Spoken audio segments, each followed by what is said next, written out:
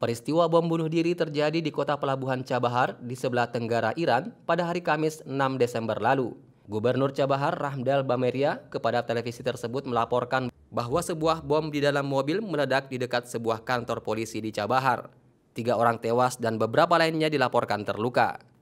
Lebih lanjut dikabarkan bahwa pelaku bom bunuh diri memasang bahan peledak setelah berhenti di sebuah markas polisi di Cabahar. Dikutip dari Reuters, Wakil Gubernur Cabahar untuk urusan keamanan, Muhammad Hadi Marasi, mengatakan dua polisi turut menjadi korban tewas dalam serangan itu. Hingga kini belum ada kelompok militan yang mengklaim bertanggung jawab atas insiden tersebut. Selain bom, dikabarkan sempat terjadi baku tembak di lokasi kejadian yang berdekatan dengan Provinsi Sistan Baluhistan. Provinsi tersebut telah lama dirundung kerusuhan antara dua geng penyelundup obat bius dan kelompok militan separatis. Sejumlah gambar dan video yang beredar di Twitter menunjukkan asap tebal menyelimuti lokasi kejadian, namun foto-foto itu belum bisa diverifikasi. Cabahar merupakan wilayah perdagangan bebas di Iran yang menjadi lokasi kompleks pelabuhan yang dibangun dengan bantuan India. Kompleks pelabuhan itu dikembangkan sebagai bagian dari koridor transportasi baru untuk Afghanistan, negara yang tidak memiliki batas laut. Serangan bom bunuh diri ini merupakan yang pertama terjadi di Tenggara Iran sejak 8 tahun lalu.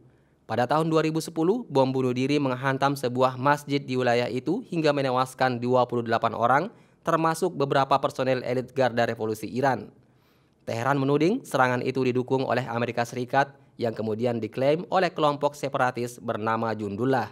Iran menuduh Arab Saudi dan Amerika Serikat membiayai sebagian besar kelompok-kelompok militan dan separatis di negaranya.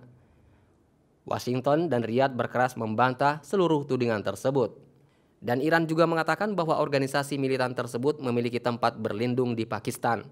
Teheran bersumpah akan menghancurkan markas-markas kelompok tersebut jika Islamabad tidak melawan mereka. Resolusi yang disponsori Amerika yang mengancam kelompok pejuang Hamas atas serangan balasan dengan menembakkan rangkaian roket ke Israel gagal untuk lolos di Majelis Umum PBB. Dalam pemungutan suara, resolusi itu memang memenangkan mayoritas dengan keunggulan 87 hingga 57 dan 33 abstain. Namun resolusi itu tidak bisa diloloskan karena tidak mencapai mayoritas 2 per 3 dukungan yang disyaratkan. Duta Besar Israel untuk PBB, Danny Danon, mengatakan resolusi itu telah dibajak oleh persoalan prosedural ini. Seorang juru bicara Hamas mengatakan hasil pemungutan suara itu adalah tamparan bagi pemerintah Presiden Donald Trump. Menurut Sami Abu Zahri, juru bicara Hamas, kelompok pejuang yang memerintah jalur Gaza sejak tahun 2007, ia menulis di Twitter setelah pemungutan suara bahwa kegagalan Amerika dalam upayanya ini di PBB merupakan tamparan bagi pemerintah Amerika Serikat dan mengukuhkan legitimasi dari perlawanan Hamas. Pada bulan lalu dilaporkan kekerasan kembali marak antara Israel dan militan Palestina di Gaza. Ratusan roket ditembakkan ke Israel dari Gaza yang dibalas oleh Israel dengan serangan yang menggunakan pesawat-pesawat tempur yang menghantam sejumlah bangunan milik Hamas. Pemerintah Amerika Serikat Donald Trump merupakan pendukung kuat Israel, mengakui Yerusalem sebagai ibu kota Israel dan pada tahun ini memindahkan kedutaannya dari Tel Aviv ke Yerusalem, kendati dikecam oleh dunia secara luas. Sementara itu dari Manila dilaporkan Filipina akan membeli 16 helikopter Black Hawk dan Sikorsky Aircraft Corp seharga 240 juta dolar. Keputusan ini diambil guna menghindari peralatan Rusia yang lebih murah karena hukuman Amerika Serikat terhadap ekspor militer Rusia, kata Kepala Pertahanan Filipina pada hari Jumat lalu. Filipina semula setuju membeli 16 helikopter Bell 412 dari Kanada, tapi kesepakatan itu dibatalkan pada Februari sesudah Kanada menyatakan keprihatinan bahwa pesawat tersebut dapat digunakan untuk memerangi pemberontak.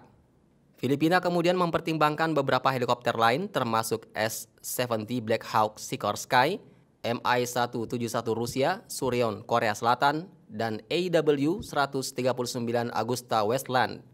Menurut Menteri Pertahanan Delvin Lorenzana, ia menyatakan angkatan udaranya akan menandatangani perjanjian pada awal tahun depan untuk 16 Black Hawk meskipun Rusia menawarkan harga terendah kedua. Lorenzana kepada wartawan di acara keamanan mengatakan sangat sulit untuk membayar mereka karena hukuman Amerika Serikat. Presiden Amerika Serikat Donald Trump pada tahun lalu menandatangani undang-undang menghukum Rusia karena mencaplok Crimea dari Ukraina pada tahun 2014, mendukung pemerintah Suria dan dugaan ikut campur dalam pemilihan Presiden Amerika Serikat. Semua tuduhan itu ditolak oleh pihak Kremlin. Sekutu Amerika Serikat seperti Filipina yang membeli senjata dan peralatan dari Rusia, pembuat kedua terbesar senjata di dunia juga akan dihukum dan akan mengalami gangguan dalam pengiriman senjata tersebut. S-70 digolongkan sebagai helikopter serbaguna dan Angkatan Udara Filipina juga berusaha memperhingga 10 helikopter serang pada tahun depan. Filipina menghabiskan 300 miliar peso atau sekitar 84 triliun rupiah selama lima tahun ke depan untuk meningkatkan kemampuan pertahanannya. Hal ini dilakukan untuk menggantikan kapal perang masa Perang Dunia Kedua dan pesawat tempur serta helikopter kuno zaman Perang Vietnam.